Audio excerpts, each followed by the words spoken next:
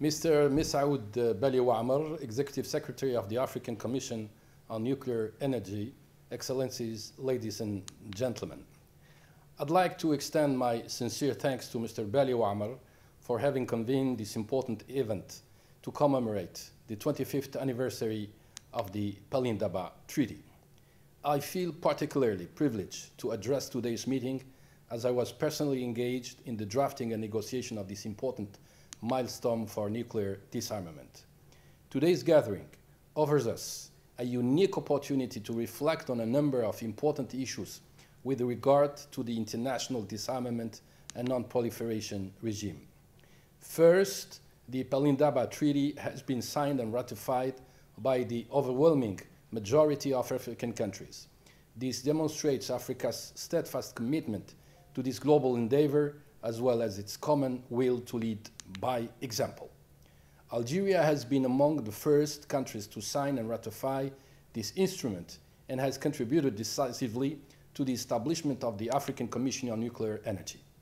Let me seize this opportunity to call upon those who have not signed and ratified the treaty and its protocols to do so without delay.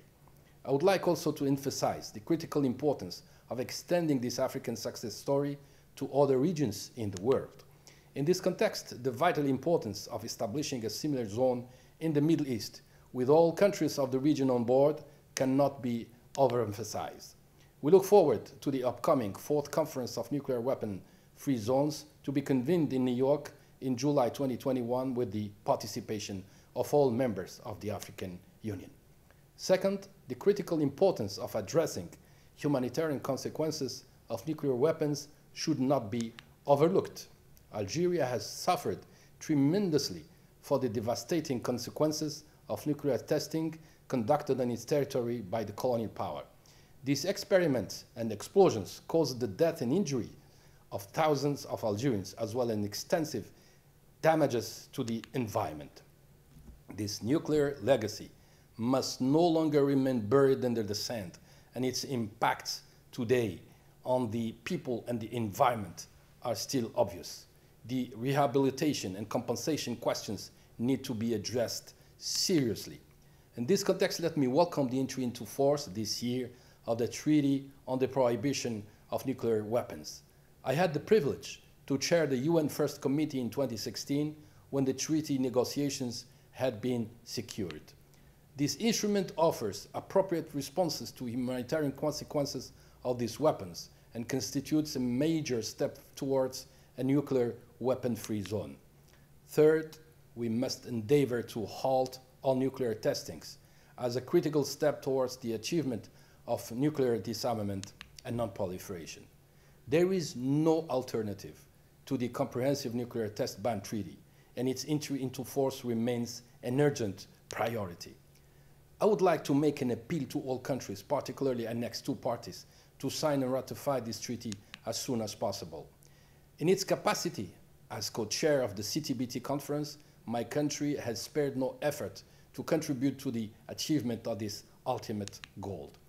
Finally, the 10th Non-Proliferation Treaty Review Conference, to be convened this summer, must be the moment in our collective efforts towards preserving the credibility and sustainability of this important instrument. After half a century of the treaty's existence, member states need to pause for a moment, acknowledge what had been achieved and undertake an assessment of the current status. Most importantly, we all need to look forward and provide next generation with hope and spare them unnecessary fear. Excellencies, despite the many steps taken towards a world without nuclear weapons, our work is far from being done. Global challenges call for global solutions, and multilateralism remains our best tool in achieving nuclear disarmament. Instead of investing in sophisticated and destructive nuclear armament, let's put more efforts to achieve our agreed SDGs and Agenda 2063. Our collective security, shared prosperity, and well-being cannot be sustainably achieved if we do not use scarce resources smartly.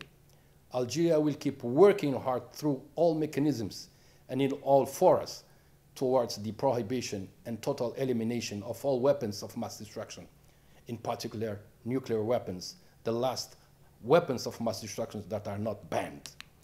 Thank you for your kind attention.